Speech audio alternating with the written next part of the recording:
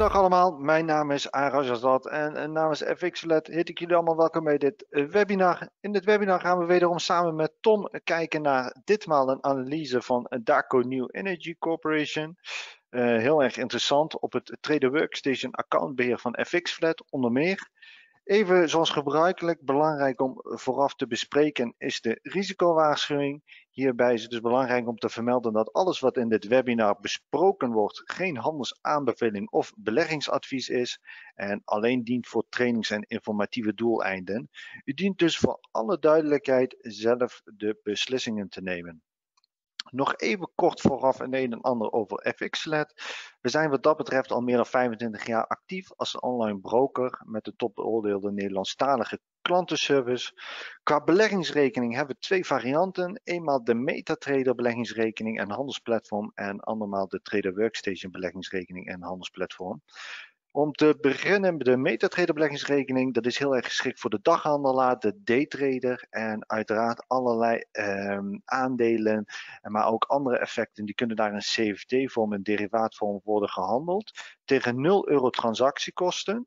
Voor de rest heeft u hierbij ook geen enkele vorm van beheerkosten of maandelijks terugkomende fees. Wat uh, vrij uitzonderlijk is en waar we eigenlijk ook hier trots op zijn, dat is onze uitzonderlijk hoge depositogarantie. Uh, tot maar liefst 500.000 euro voor de MetaTrader beleggingsrekeningen. Wilt u kennis maken met MetaTrader, het daytraden, wilt u oefenen, dan kan dat allemaal met een gratis en vrijblijvende demo-rekening. Hiermee kunt u dus 30 dagen lang gratis en vrijblijvend met real-time koersen oefenen met oefengeld. Andermaal hebben we dus, uh, zoals aangegeven, de Trader Workstation beleggingsrekening. Daar gaan we vandaag ook in het TWS online accountbeheer samen met Tom een kijkje nemen en het een en ander bespreken. Hiermee kunt u dus wereldwijd op meer dan 135 beurzen in 33 landen wereldwijd vrijwel alle mogelijke effecten beleggen en handelen. Uh, een paar bullet points, bijvoorbeeld de Nederlandse aandelen, opties, ETF's enzovoort, die zijn daar handelbaar vanaf 1,90 euro. De Amerikaanse aandelen die zijn er bijvoorbeeld handelbaar vanaf 1 dollarcent per aandeel. Het openen van een rekening, zo'n Trader Workstation beleggingsrekening, gaat heel gemakkelijk online en is mogelijk vanaf 2000 euro. Wilt u de overstap maken vanuit je, vanuit je huidige broker, dan kan dat uiteraard ook middels een depootoverdracht. Ook net zoals de MetaTrader beleggingsrekening heeft u hier ook geen beheerkosten en geen maandelijkse terugkomende fees. Voor de zakelijke klanten bieden we de mogelijkheid aan voor een zakelijke beleggingsrekening. En tot slot wilt u ook hier even rondkijken, kennis maken, oefenen, dan kan dat ook middels zo'n demo beleggingsrekening die gratis en vrijblijvend is. Oké, mochten er eventueel nog vragen of opmerkingen zijn eh, naar aanleiding van het webinar, die kunt u gewoon gerust achterlaten in de vragen of in de chat. Dan pakken we die samen met Tom op. En dat zeggende hebben, dan gaan we gelijk door naar Tom. Goedemiddag Tom, welkom. Hi Arash en welkom alle kijkers. Ja, we kijken er wat dat betreft heel erg naar uit. Ditmaal dus een, een, nieuwe analyse. Dan geef ik je gelijk even het beeld en geluid over en dan kunnen we van start gaan. Ja, nou hartstikke mooi. Nogmaals, welkom. Vandaag ga ik naar DACO of DAXO New Energy. Ik weet niet hoe je het in het Chinees uitspreekt, maar New Energy, Lijkt me vrij, uh, vrij makkelijk Chinees op deze manier. Een bedrijf wat u waarschijnlijk niet kent. En uh, dat, uh, ja, is dat terecht of niet? Nou, we zien hier eh, de website van het bedrijf. En ik kan al zeggen, ik voel me wel helemaal jaren negentig.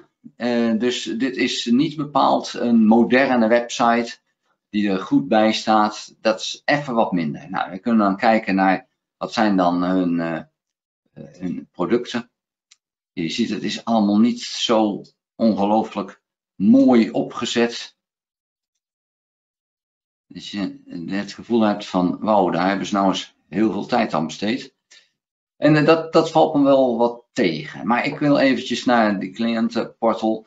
Um, het is een bedrijf uit China en dat is even wel belangrijk om te melden. Daarom is er weinig gegevens in FXFlat, maar we hebben wel natuurlijk de koersgegevens. Maar ik ga eventjes naar Yahoo. En dat is bewust. Er werken bijna 2400 mensen. Dus dat eh, is dan nog weer wel. En het zit eh, in Shanghai.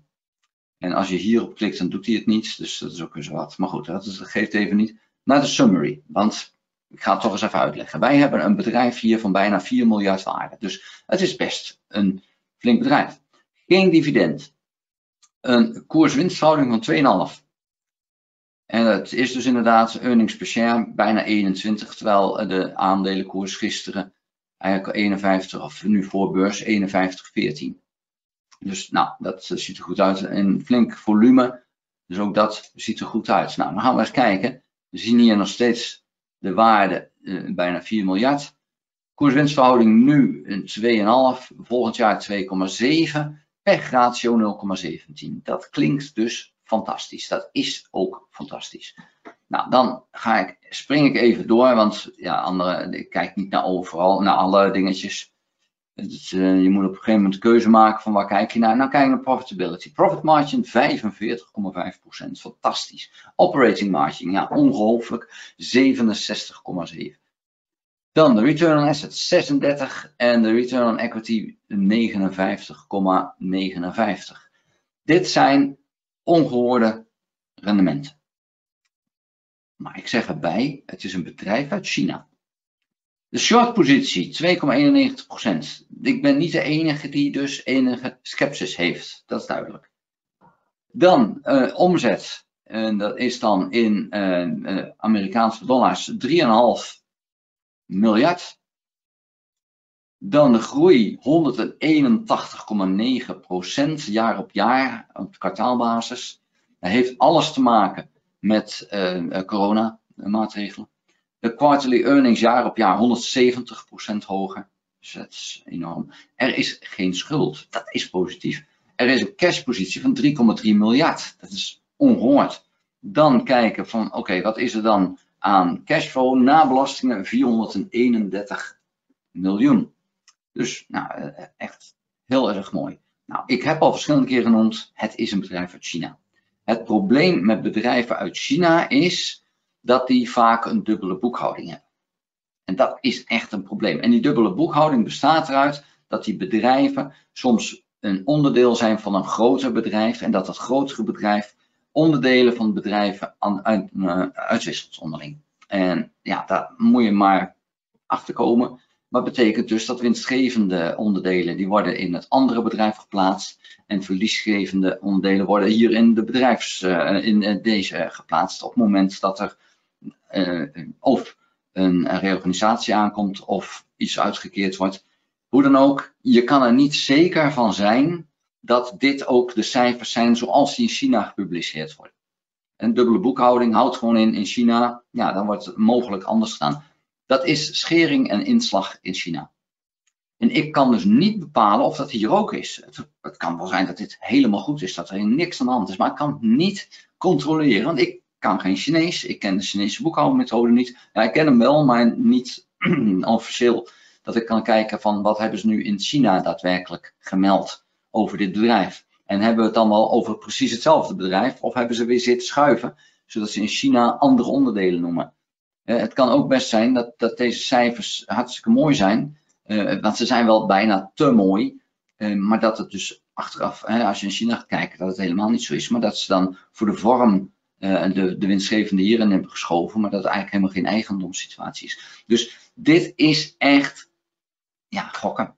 Nou, nou is het zo, nou zijn wij maar gewoon kleine beleggers, maar er zijn ook anderen.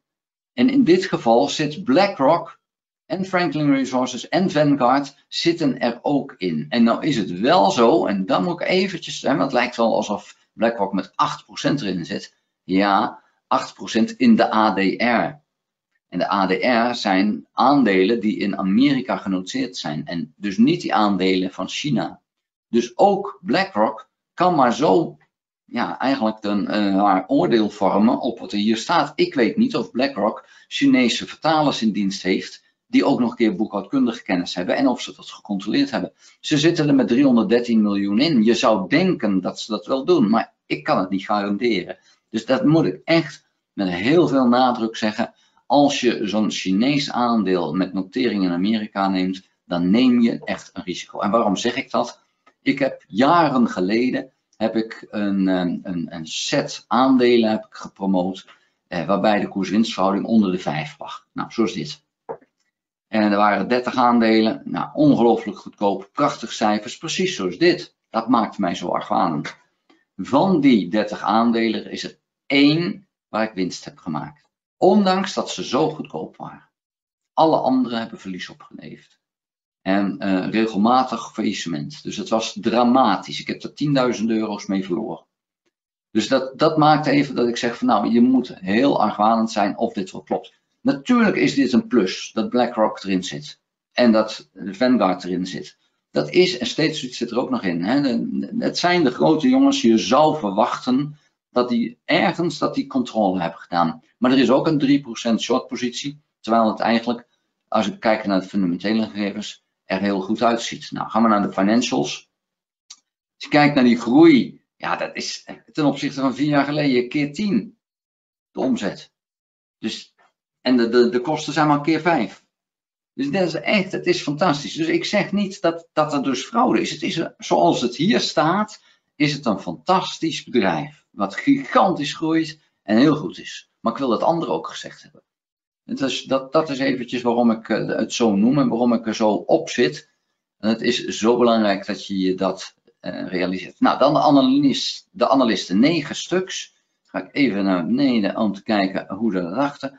90 dagen geleden dachten ze namelijk om 19 dollar winst per aandeel. Nu denken ze al 28.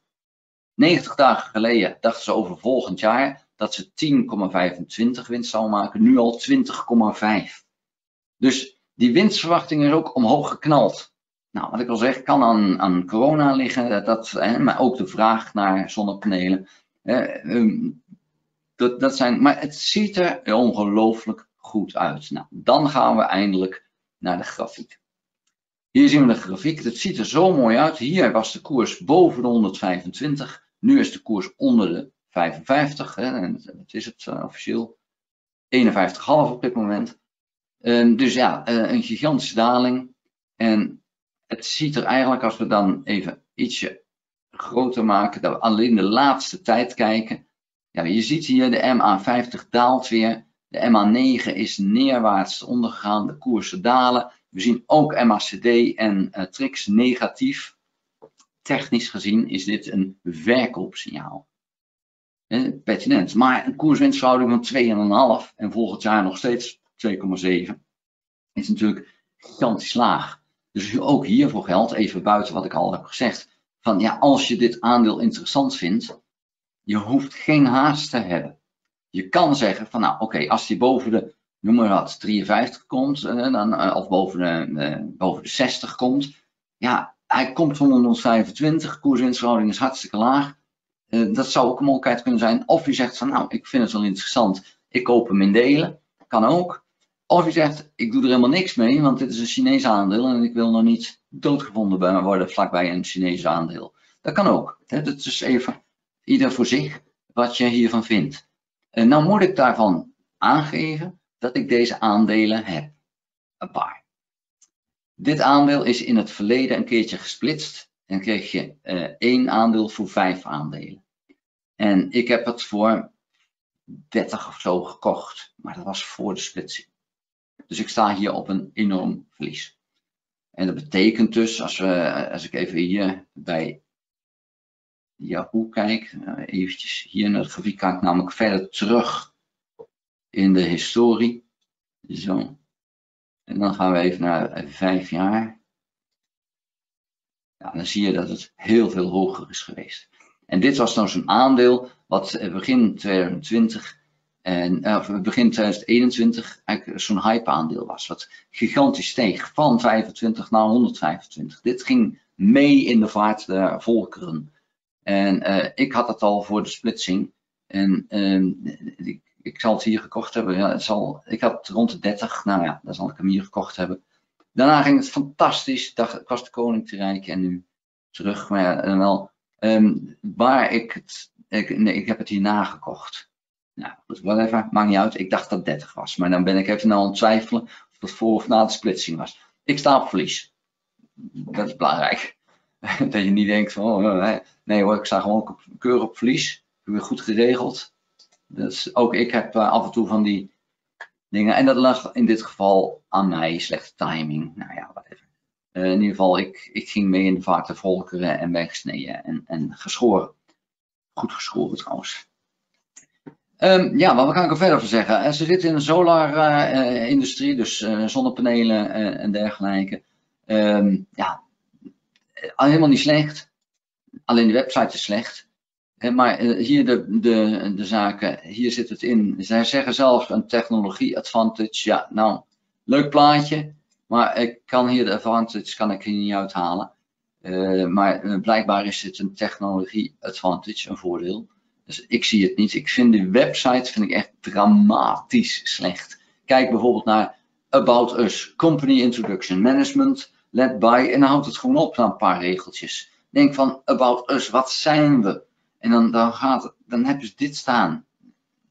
Het, het is echt de limit. Maar oké, dan hebben ze hun management. Ook daar had ik al even gekeken. En wat je dan uh, ziet, is dat de CEO. Die staat hier niet eens bij. Moet even verder naar beneden. Chief Executive Office, Office, Officer moet het zijn, foutje. Die staat onderaan. Dat is eigenlijk de leider van het bedrijf. Die, die moet operationele leiding doen. En die staat onderaan. En nou ja, dit, als je het zou beoordelen op de website, dan zou ik het al direct in de prullenbak flikkeren. Echt, dan, heeft, dan, dan ben ik al geweest. Maar als we het gaan beoordelen op de cijfers, zoals die dan liggen, ja, dan, dan is dit gewoon enorm. En ook niet alleen de cijfers, maar ook de, de, de investors in uh, de ADN-notering in Amerika. Dat zijn de toppers. En die zitten er fors in. Dus ja, dat maakt het zo moeilijk. Dit is echt zo'n aandeel van ja, de een zegt van die wil ik hebben, en de ander zegt ja, ik wil niet naar je dood gevonden worden. Ja, dat kan. En dat, um, dat is het mooie van beleggen, dat een koper en een verkoper is. Dat je het oneens bent met elkaar. Uh, maar hier zit het dus echt in. Hier moet je een oordeel zelf volgen van ja, wil ik dit? En dit is nou echt zo'n type, zo'n uitgesproken aandeel waar je mensen hebben die zeggen van wauw, dit is een kans. En mensen zeggen van ja, hier wil ik echt niet aankomen. Dus dat, dat vind ik het, uh, het mooiste. Dan is mijn vraag aan Ars, zijn er vragen? Nee, op dit moment lijkt het allemaal duidelijk te zijn. Hebben we nog geen vragen? Dat uh, is mooi. En ook wel jammer, want ik vind het vragen vind ik altijd leuk. Dus als je een vraag hebt, dan kom er mee. Um, ja, wat hebben we nog meer? Uh, het zal eigenlijk wel redelijk gezegd zijn. Even kijken hoor. Als je hier kijkt naar milestones. Um, ze hebben een uh, aandelen inkoopprogramma. Is interessant. Um, ze hebben, en dat is dan wat, wat vond ik wat, wat schrikbaarder, dat ze toch ook weer een, een dochteronderneming online hebben gezet, maar die zie ik hier niet. Ja, hier, dit is een dochteronderneming. Ja, dat, dat ben ik altijd een beetje huiverig, hè, want het zijn altijd van die bedrijven. In Nederland hebben we dat ook. Hè. Ik heb het zelf ook. Dat je een, een oude maatschappij en eronder de werkmaatschappijen. Maar in China betekent dat vaak dat er ja, van alles en nog wat uh, gerommeld kan worden, omdat die boekhoudkundige regels daar wat anders liggen. Nou, dan uh, zou ik het, uh, wat mij betreft, als er verder geen vragen zijn, zou ik het hierbij willen laten. Um, ja, doe je eigen onderzoek voordat je een, een positie inneemt. nog wel even één dingetje om jullie op te wijzen. Op 4 november is er een beleggersfair in Amsterdam. En FX Flat is daar ook aanwezig. Misschien leuk om elkaar daar te ontmoeten. Ik ben daar, daar ook en ik geef daar ook een presentatie. Dus wie weet zien we elkaar daar. Arash, ik ben klaar. Ja, helemaal goed. Uiteraard hartstikke bedankt Tom. Uh, want wat dat betreft zijn we inderdaad 4 november aanwezig met FX Flat op de uh, beleggersfair en de beurs van Berlage in Amsterdam. Jullie zijn daar uiteraard ook bij uh, hartstikke welkom. En Tom die geeft daar ook een hele interessante snelcursus met een uitzonderlijke tip voor, voor een aandeel. Dus uiteraard heel erg leuk en interessant om daar ook bij te zijn. Wat dat betreft eh, neem ik het beeld over ter afsluiting. Uh, uiteraard Tom, wederom hartstikke bedankt voor het uiterst interessante webinar. En uiteraard ook iedereen voor zijn aanwezigheid bij dit webinar. Als er eventueel vragen of opmerkingen zijn naar aanleiding van het webinar of eventueel naar aanleiding van de beleggingsrekeningen. We zijn altijd te bereiken middels onze gratis te bereiken klantenservice nummer of een e-mail schrijven naar service.fxlet.com kan ook. Dan wens ik tot slot iedereen namens FXLED nog een prettige middag verder en tot het volgende webinar. Tot ziens.